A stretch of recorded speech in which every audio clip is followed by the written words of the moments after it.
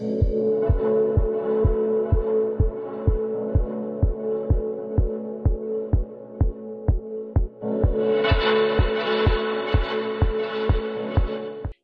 guys. I'm here with Coco Mitchell, a mentor, a teacher, actress, but best known as a supermodel. Coco, welcome to Pop Style TV.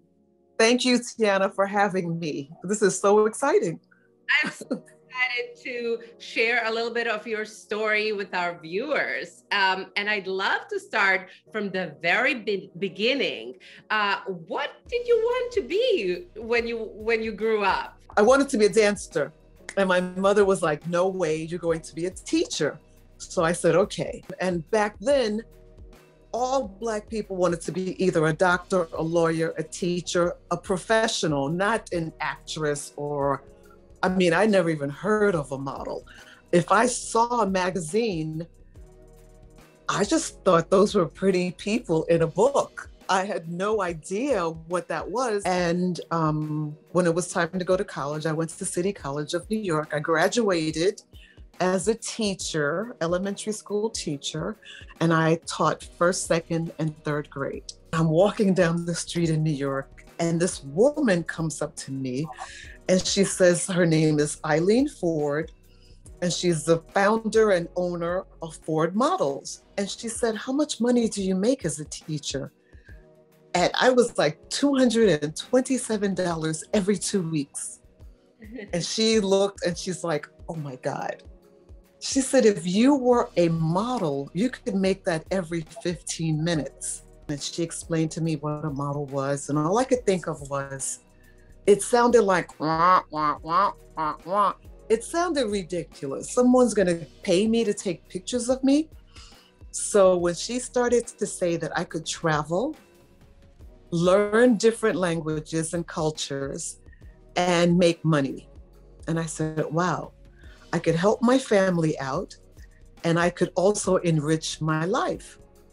So I said to her, I said, I have to finish out my contract with the school, but I'll come and see you right after. So, right after that, a year of teaching, only one year, I went back to see Eileen. She sent me to have pictures done. I started going on castings. I hated it. So I sat down with Eileen after the first year and I said, I, I don't think I want to do this. And she's like, What are you talking about? You're working. And I said, But it's boring. So I said to her, I said, Okay, since you think that I'm going to work, can I work someplace else? And she's like, Well, you could go to Miami or you could go to Los Angeles. And I'm thinking, Miami, I'm from Florida, my family that's too close. No, no, I want freedom. So I moved to LA. I moved to LA. I loved it. I loved it. I'm working in LA. I get an apartment. I'm living my life. I'm loving it because I have a life. I'm meeting very interesting, creative people, and I'm working like Eileen said that I would. Then they started sending me to Florence, Italy. They're flying me back and forth to work with this photographer. So the third time they sent for me, I decided that I was going to stay in Florence, Firenze. I was going to learn Italian and I was going to study art. So here I am in Florence. I'm shooting with Aldo Fallai when we finished the job, I started going to school, art school, to study art and learning Italian. So my agent calls me, the agency was Nina Blanchard. They call me and they say, Coco, what are you doing?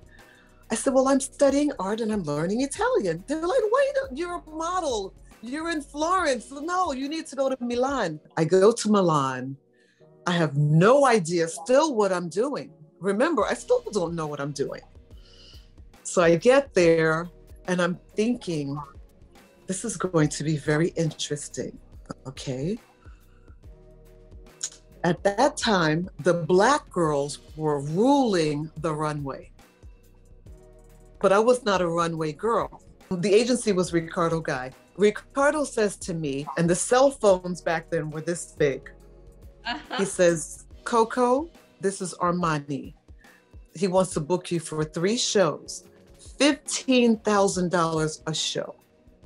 Wow. And at that time, I can imagine how much that was.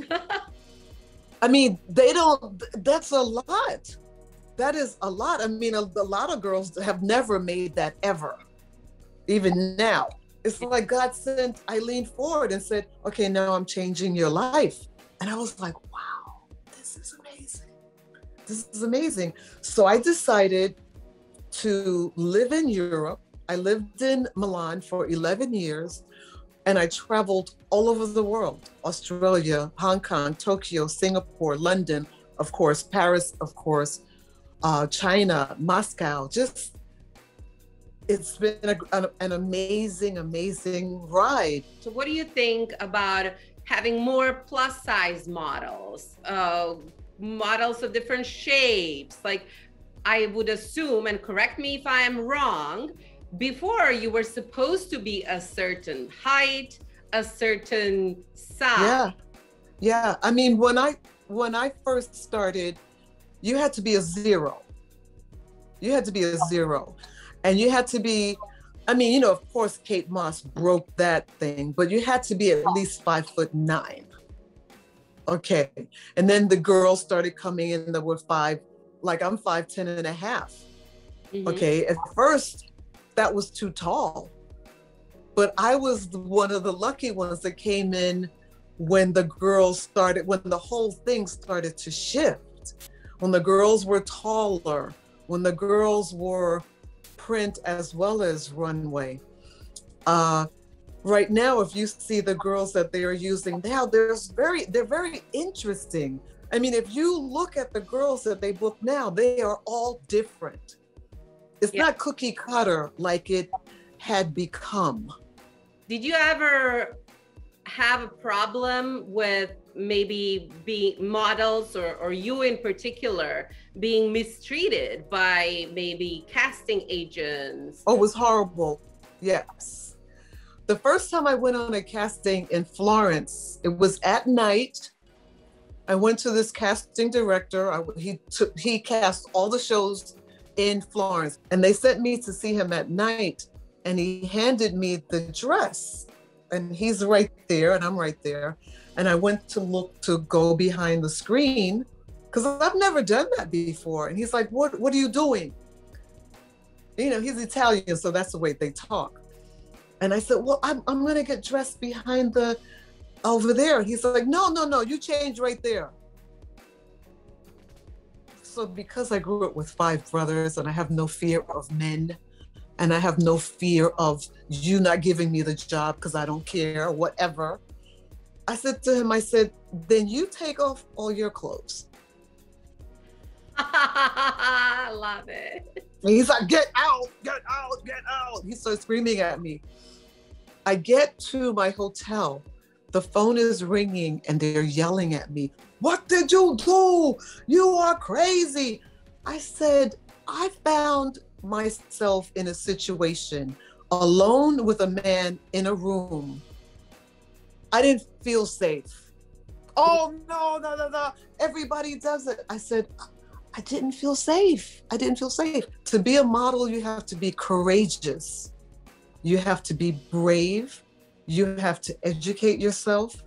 And you have to understand your self worth that you are worth something. You are human. I mean, the way that they treat us, I mean, I learned to speak Italian and I couldn't believe they talked about you from the top of your head to the tips of your toes. I speak French and I get to Paris and I'd be like, oh, oh my God. I'm a, I'm a human being. Why? Oh, look at this and look at that. It's a scrutiny that you have to be strong to deal with, you know, and you have to believe, yo, I am somebody. I don't care what they say, you know.